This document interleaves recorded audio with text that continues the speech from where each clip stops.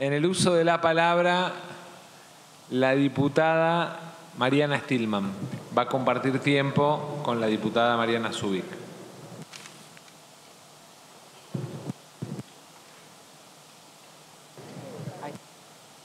Sí, tenías. eh. Ahora, ah, ahora sí, ahora aprendí.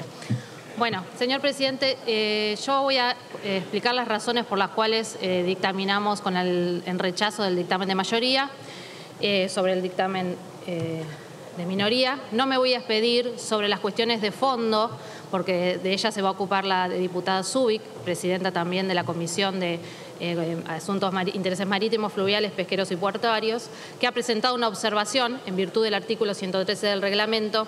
En similar eh, situación lo ha hecho el presidente de la Comisión de Defensa, el diputado Acef del Bloque Pro. Yo me voy a expedir expresamente, específicamente sobre por qué estamos acá y sobre el proceder antirreglamentario que nos llevó a tratar este dictamen en este recinto. Y no, no se trata de meros incumplimientos formales del reglamento de los que me voy a referir, porque estamos hablando nada más y nada menos que de nuestro reglamento, que es el que nos permite sesionar, el que nos permite convivir democráticamente.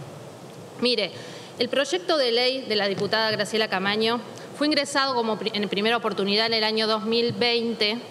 Se le otorgaron giros a las comisiones de eh, relaciones de Relaciones Exteriores, a la Comisión de Intereses Marítimos, Fluviales, Pesqueros y Puertarios y a la Comisión de Defensa.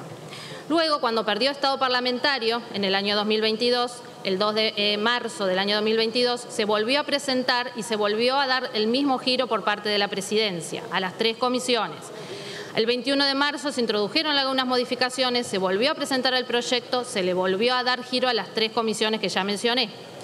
Sin embargo, en el Boletín de Asuntos Centrados, número 9, a pedido de la diputada autora del proyecto, eh, se solicitó un cambio de giros y se hizo el, el cambio de giros conforme lo solicitó. Desconocemos cuáles son los fundamentos, pero se ha excluido la intervención directamente de las tres comisiones eh, competentes por su especificidad y este, se ha dejado solamente la intervención de la Comisión de Legislación General.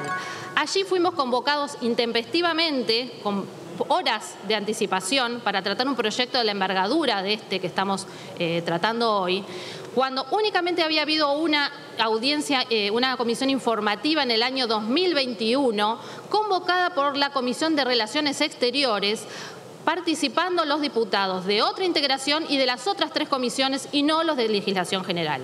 Mire, señor presidente, nosotros no podemos permitir el abuso y la manipulación de nuestro reglamento. Sí podemos permitir de, pedidos de cambios de los autores del proyecto para agilizar el tratamiento. Sí podemos permitir que ante consenso se pueda agilizar el tratamiento y se pueda poner uno de acuerdo para avanzar en proyectos, como digo, de consenso. Pero no podemos permitir el abuso para ex profeso dejar afuera de la participación, del debate y de la discusión de un proyecto de las importancias del que estamos tratando eh, a las comisiones que son competentes por su especificidad. Asimismo, también como señalamos en el dictamen de minoría, estamos incumpliendo el reciente acuerdo suscripto de, de porque en su artículo, que en su artículo 7 expresamente dice que las cuestiones eh, de, que las cuestiones eh, de, ambiente requieren la participación pública en el proceso de toma de decisiones. Principio que no es disponible por los estados, sino que es un deber concreto que estaríamos incumpliendo por el apresurado tratamiento de este proyecto. Señor presidente, pedimos que se respeten las condiciones básicas del debate para dotar de legitimidad al proceso formal de creación de leyes. Y es por eso que hoy no podemos acompañar este proyecto. Gracias. Gracias, diputada.